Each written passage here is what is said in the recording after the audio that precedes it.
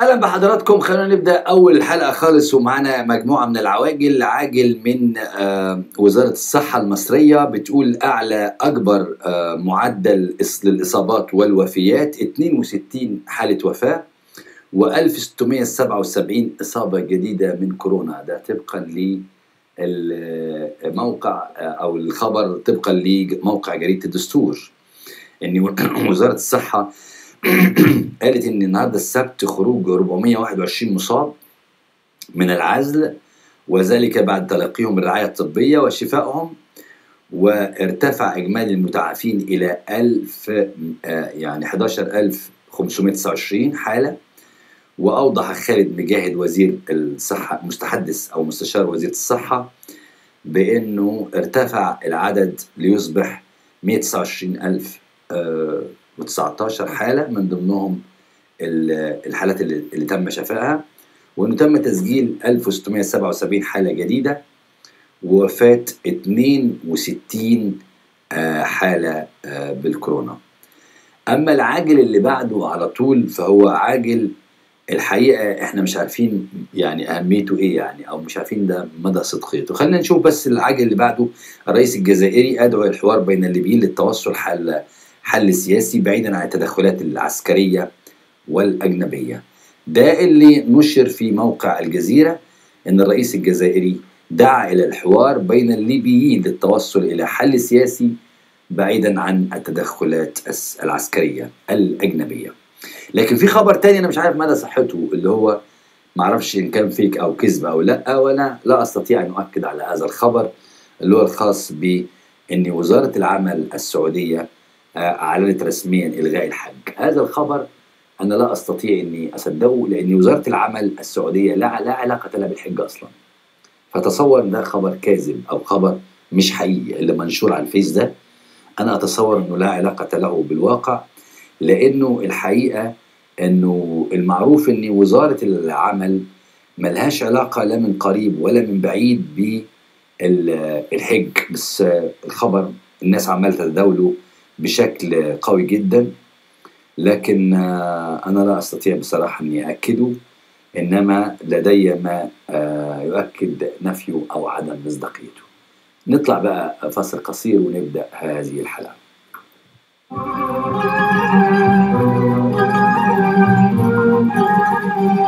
جاي لك بمد ايدي عشان تقومي.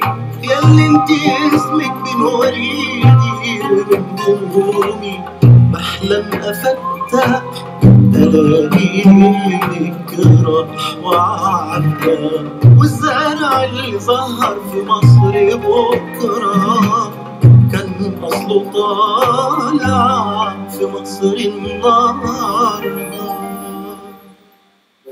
أهلا بكم. لا أعتقد إنه في مصري مهما كان اختلافه مع عبد الفتاح السيسي أو مع نظام عبد الفتاح السيسي لا أعتقد إنه ممكن يفرح أو يشمت فيما يحدث في سد النهضة. رسميا الرأي بتقول مفاوضات سد النهضة متعثرة. ومتعثرة دي كلمة كده زي جدولة الديون. ما هو حكم في العصر الحديث استبدلوا بعض الألفاظ بألفاظ أخرى أقل وطأه يعني. يعني هيكل سمى هزيمة 67 سماها نكسة ليخفف من وقعها. الدول تقول بدل كلمة إفلاس تقول جدول الديون. متعثرة بدل من فاشلة. الرأي بتقول أثيوبيا تريد مصر والسودان أسرى لإرادتها في بيان رسمي.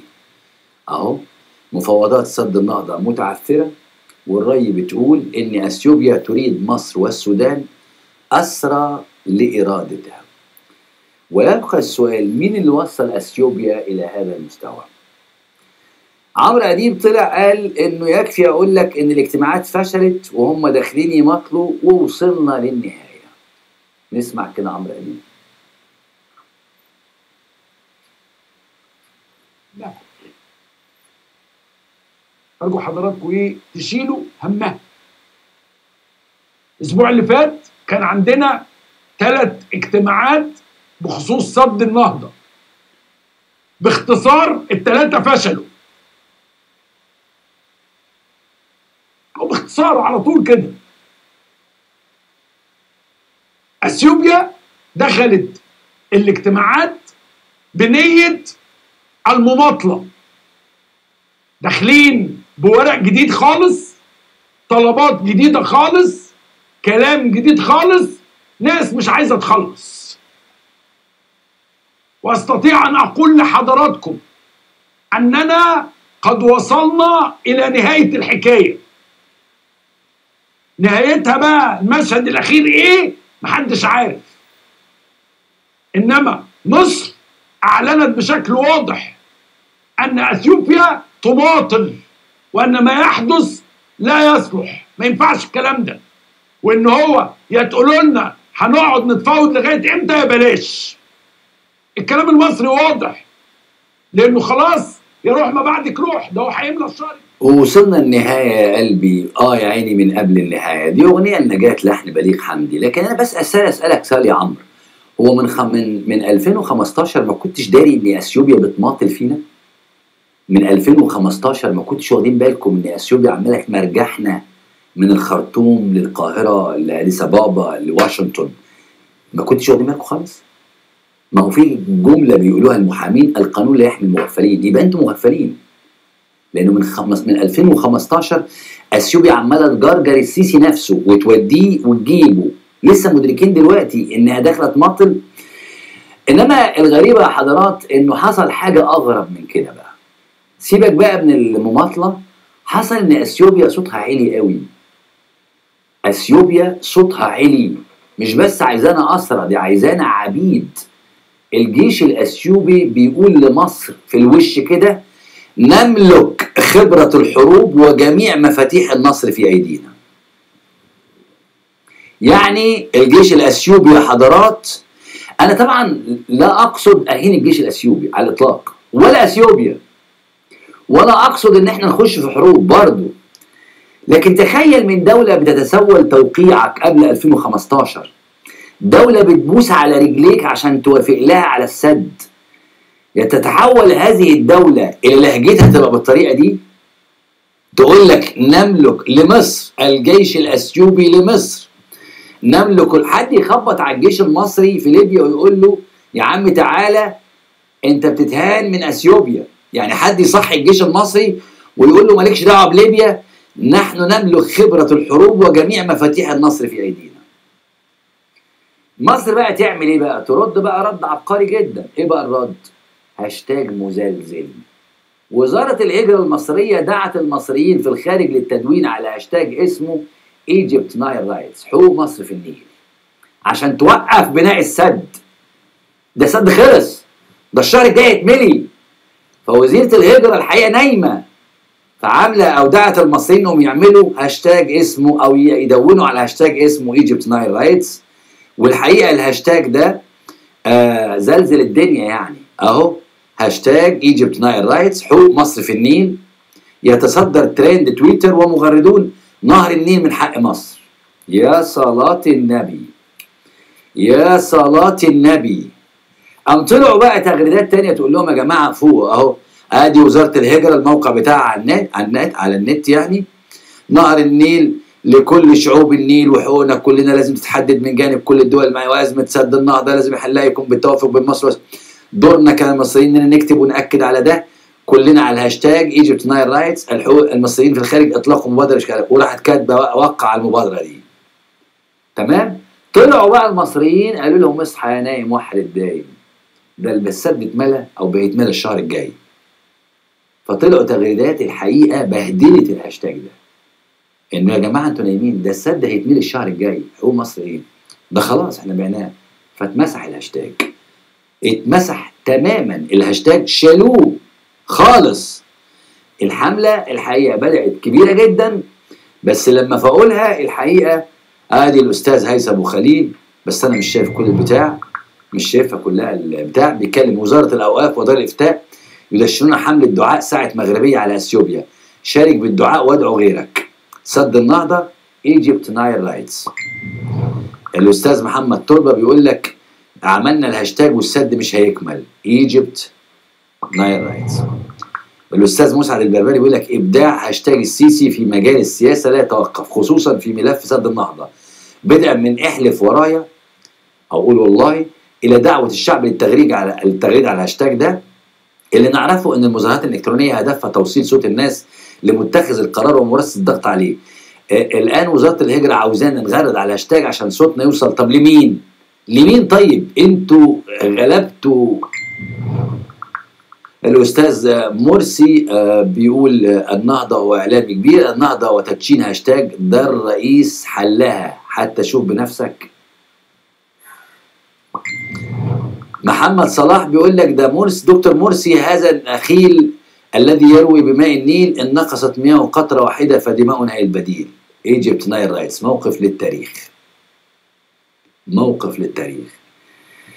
طيب على كل حال نشوف بقى أخبار جبر الخواطر على الله مش طالب منا غير طلة.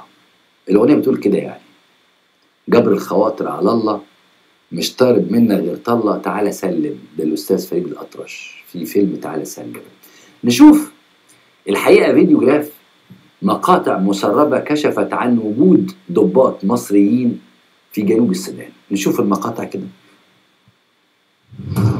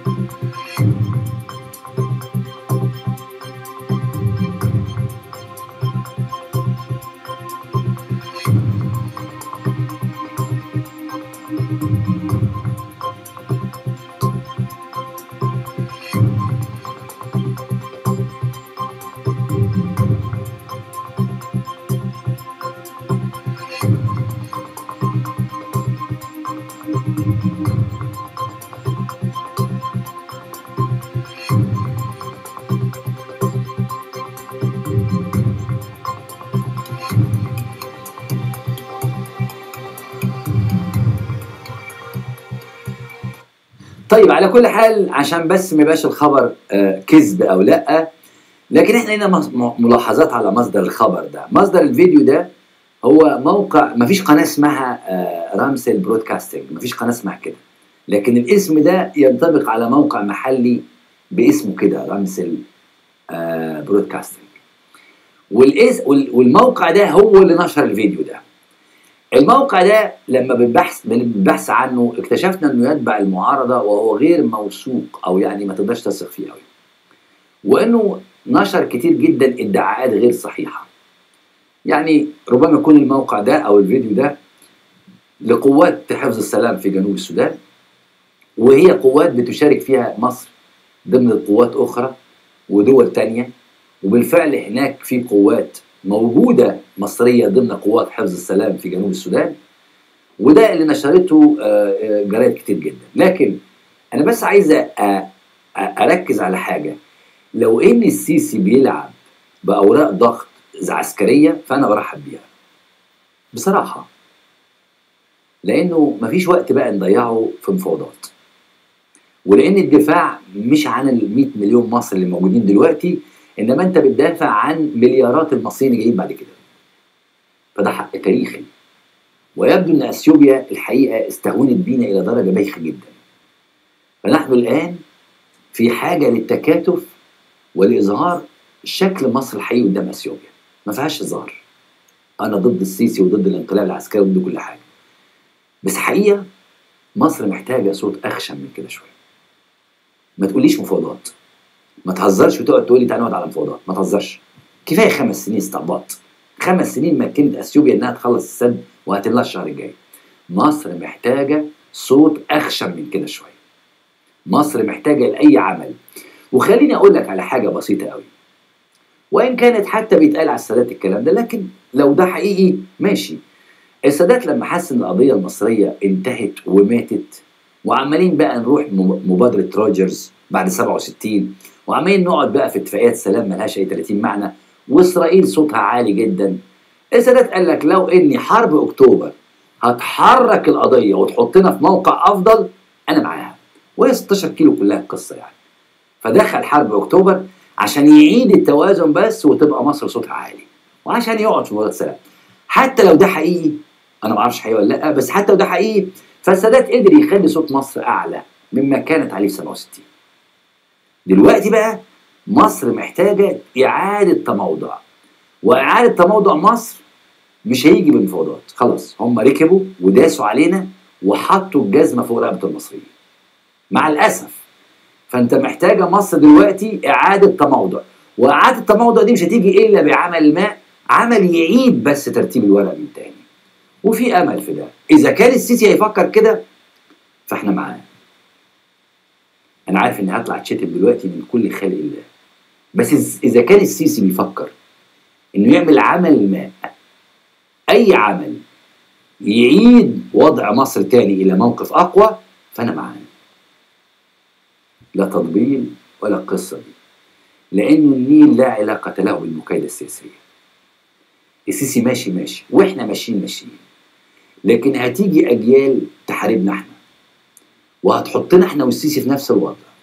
هتقول طب ما أنتوا هو كان فاشل ومضى في 2015 وضيع حقنا في النيل وانتوا خدتوها فرصة عشان تناكفوا فيه.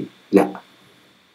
لن نسمح لحد بالأجيال الجاية يحطنا في نفس الوضع بتاع السيسي. النيل مش ورقة ضغط مننا سياسية عشان نثبت إن السيسي فشل. النيل ده كوباية المية. النيل ده الأرض. النيل ده حتة البهيمة اللي معدية على الأرض. النيل ده الخير الناس بتاكله أو الناس بتعيش عليه.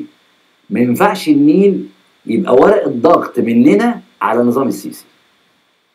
وإلا اللي هيعمل كده بصراحة لا يقل دناء عن السيسي. اللي هياخد ملف النيل ده على اعتبار إن هو ورقه ضغط أهو أثبت فشلنا. الحمد لله نسجد لله شاكرا لما السد اتملى اللي هياخد الحكاية كده يبقى واطي.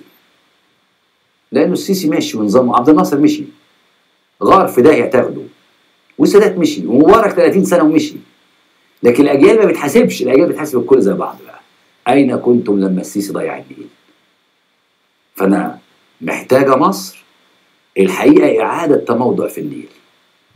وأنا لا أخجل واللي عايز يشتم براحته إذا السيسي بصراحة دخل في عمل عسكري مع إثيوبيا ضد السد فقط مش ضد الشعب الإثيوبي ضد السد فأنا مع الجيش المصري قلبا وقالبا.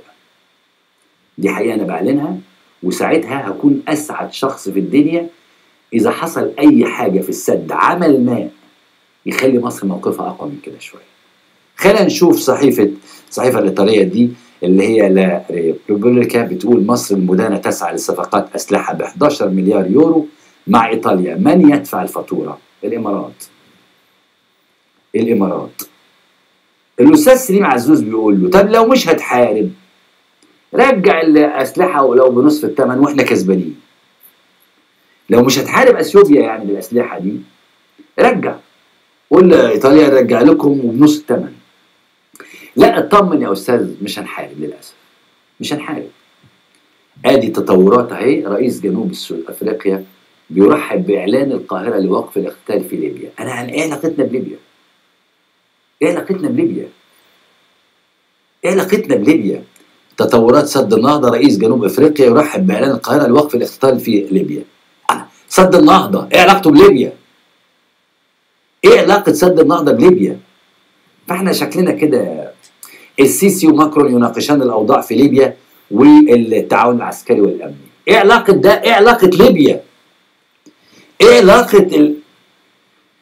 وأدي مقال آه، اهو آه، أسود البوابة الغربية حمد رزق. بقى بقى طالع يتكلم اهو حوار الفريق محمد فريد مع القادة والضباط والصناع والجنود والغربية. حوار مهم في توقيت حرج وفلول الإرهاب تتجمع في الغرب الليبي. يا عمي أنتوا بتحاربوا غلط. يعني بداية غلط غلط. وده اللي ضيع عبد الناصر. أنتوا اقروا بس ملفات عبد الناصر في حرب اليمن. القصة كلها إن عبد الناصر كان ضد الإمام يحيى والناس دي. والامام البدر. وكان بي مع الثوار ال- اليمنيين. طيب ماشي انت خلاص أيدهم بقلبك يعني. فراح السادات قال له ده إحنا لو بعتنا كتيبة يا ريس هناك هتقعد العيال دي بيوتها فبعتوا كتيبة. كتيبة شدت كتيبة شدت لواء ما اللواء هو مجموعة كتايب. واللواء شد سلاح والسلاح شد أسلحة. فبقى ثلاث أرباع الجيش المصري هناك. ولما جينا نخش حرب ضد الصهاينة كان الجيش انتهى اتهلك. الناس اللي زي حمدي رزق الناس دي الحقيقة عندها حول. إيه علاقتنا بليبيا؟ لو ان نص الجيش اللي موجود على ليبيا دلوقتي بيهدد وده جايز على فكرة. إيه إيه المانع يعني؟ إيه المانع انك انت تهدد اثيوبيا؟ أيوه أنا بقول لك أنا بقول خدها مني هدد اثيوبيا. العالم لا يحترم غير الأقوياء. حكومة الوفاق بتاع السراج كانت بتتشتم من شهر. بعد شهر النهارده حكومة الوفاق بقت في السماء. قوي. رجب طيب أردوغان في تركيا. لحد النهارده دخل في أزمة مع روسيا. طيارة وقعت طيارة روسية وقعت. وعمل أزمة وبعدين خلاص. دخل في أزمة مع روسيا جوه سوريا وفرض رأيه. دخل في أزمة مع أمريكا حول القس الأمريكي وفرض رأيه. دخل في أزمة مع العالم كله مع أوروبا في الاتحاد الأوروبي وفرض رأيه. دخل أزمة مع آه، في ليبيا وفرض رأيه. العالم لا يحترم الا القوي يوما ما هيكتب ترامب مذكراته عن الناس اللي هو عاملهم وشوف بصته لأردوغان. قوي رئيس قوي دولة قوية. والقوة سلاح. وانت شاري السلاح. بقالك يا أخي خمس سنين بتشتري سلاح من الدول مرمي في المخازن. على رئيس ليبيا عزوز طلعه. طلعه طلع السلاح وهدد أثيوبيا. أنا بقول لك يا أخي هدد أثيوبيا. يا أخي اعمل أي حاجة هدد أثيوبيا. أيوه اعمل أي حاجة هدد اثيوبيا وشوف الفرق بقى أيام عبد الناصر وأيام السادات وبتاع. السبعينات وكلكم شفتوا المسلسل الهزيل اللي كان اسمه إيه؟ اللي عباره ولا اسمه الفنار ده؟ الحفار. دي قصة حقيقية من ملفات المخابرات المصرية. مصر رصدت حفار رايح طالع رايح للصهاينة. وبقى وبعدين وصل لدولة إفريقية. راحوا بعتوا الأستاذ محمد رضا والأستاذة نبيلة السيد وغالبا صفاء أبو السعود. وعملوا فيلم هناك اسمه عماشة في الأدغال. الفيلم موجود لحد دلوقتي. لا قصة ولا سيناريو وأي هزار وأي هكس وراحوا ضباط المخابرات وضباط القوات المسلحة راحوا مع بعثة الفيلم ده دمروا الحفار ورجعوا ده دولة دي دي جهاز مخابرات. انت عندك اثيوبيا عمالة تبني في السد وتكمل وتجيب مهندسين وانت قاعد نايم ومستني قال إيه مفاوضات السبب يا حضرات إنه كان قاعد ينيمنا لحد ما لبسنا في السد. عبد الفتاح السيسي قعد ينيمكم لحد ما لبسكم في السد. في الفيديو ده مراحل تاريخية مسجلة للسيسي من أول ما مضى لحد ما قال أنا ضيعتكم قبل كده. شوف كده.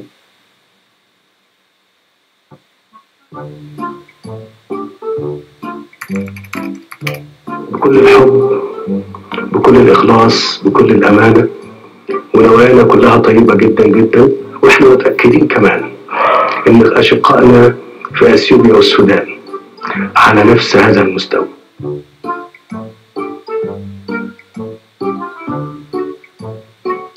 لكن عايز أقول لكم آه، اطمئنوا. الأمور ماشية بشكل بشكل جيد. وبشكل مطمئن.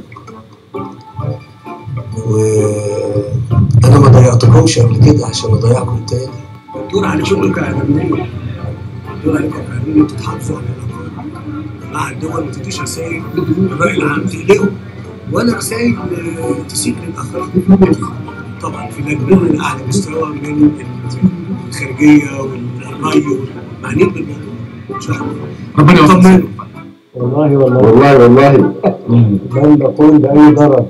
لم لن نقوم بأي ضرر. لم نظن بأي درع للمياه في مصر للمياه مصر مصر لو ما كانتش 2011 كان هيبقى عندنا فرصة إن إحنا يتم التوافق على بناء السد. إحنا في الغالب اللي بنطلعه لكم كتصريحات هو بيعكس المسار. عشان لا نفاجئكم. ولا كمان نخوف الناس بدون داعي. طيب على كل حال أنا مش عايز من السيسي كلمتين. مش عايز من السيسي كل القصة دي. أنا عايز أقول لك إنك أنت في ديسمبر 2015 يا عبد الفتاح أنا ههدى خالص أهو وهكون هادي وهسألك بمنطق وأرجو من زمايلي يشيلوا الفيديو ده تاريخيا. هعاملك بمنتهى الاحترام.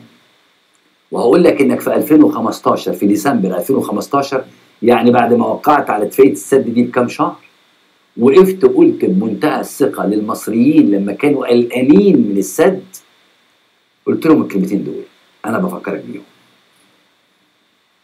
عايز أقول لكم آه، اطمئنوا الأمور ماشية بشكل بشكل جيد وبشكل مطمئن.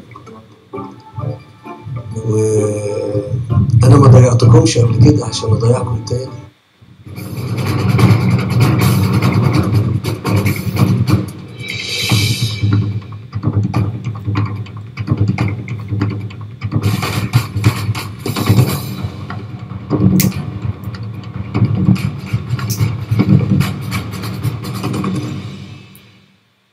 تاني وأقول لك يا عبد الفتاح في ديسمبر 2015 بعد ما وقعت في شهر مارس 2015 اتفاقية باللغة الإنجليزية وعندي حد بيقول لي يبدو إنه هو ما يعرفش إنجليزي فعلا فوقع عليه اتفاقية بس ده يمكن مش حقيقي لأن هو أكيد الخارجية ترجمت له الكلام يعني.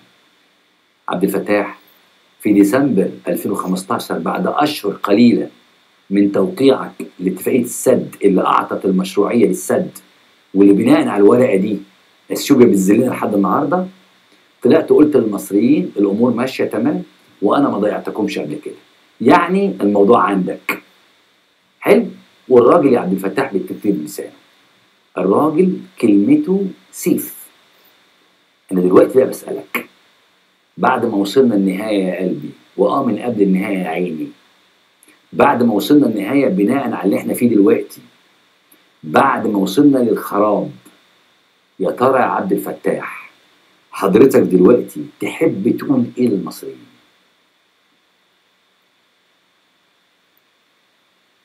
أنا مش بنافق سياسيا. أنا واحد الشعب ضمنك. وأنت قلت للشعب كده قلت لهم بالظبط ما تقلقوش. الأمور ماشية بخير وأنا ما ضيعتكمش قبل كده. يعني الموضوع عندك أنت. يعني الموضوع في رقبتك أنت. فلما الشعب ده يضيع هيسألك انت. فحضرتك دلوقتي وبمنتهى الأدب تحب تقول للشعب المصري دلوقتي بعد ما عرفنا إنه خلاص الموضوع خلص. تحب تقول للشعب المصري إيه؟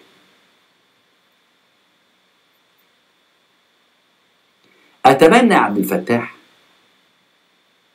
إنك تكون في يعني شوية في شرف الجندي أو الساموراي الياباني. الساموراي الياباني لما بيحس إنه هيتهزم بيقتل نفسه. أتمنى يا عبد الفتاح إنك تكون ولو حتى تمثيل زي عبد الناصر وتطلع تقول أتحمل المسؤولية كاملة وأعلن تخلي عن أي منصب رسمي وأعود إلى صفوف الجماهير. ولو تمثيل! أتمنى يا عبد الفتاح إنك تطلع تقول آسف سامحوني ما كانش قصدي. أتمنى يا عبد الفتاح إنك تطلع تواجه المصريين كده. أنت قلت لهم الموضوع عندك. وبرقبتي أتمنى إنك تملك شجاعة جندي مصري حقيقي يطلع يقول للمصريين كلهم أنا آسف. أنا آسف. ضيعتكم. أو أنا آسف. وأتخلى عن أي منصب وهعود إلى صفوف الجماهير. أتمنى عبد الناصر حتى الآن ما يخفف وقع هزيمه 67 الفيديو بتاعه وهو بيقول كتمثيل بس مجرد تمثيل. وأن أتخلى عن أي منصب رسمي وأعود إلى صفوف الجماهير. الناس فاكرة عبد الناصر الفيديو ده. والناس لما بتشوف أهوال 67 بيتذاع وراه على طول الفيديو بتاع عبد الناصر.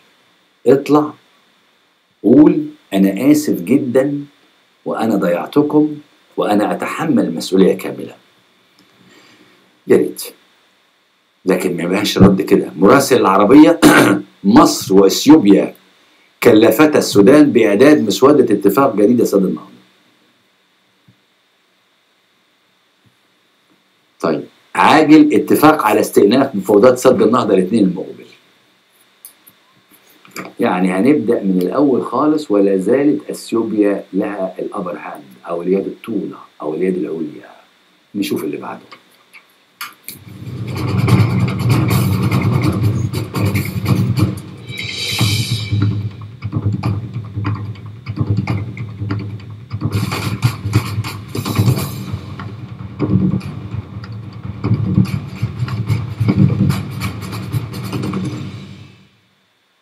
أهلا بكم في على السريع على السريع هنبداوا من تونس. من تونس الحقيقة في نائبة في البرلمان التونسي اسمها عبير موسى.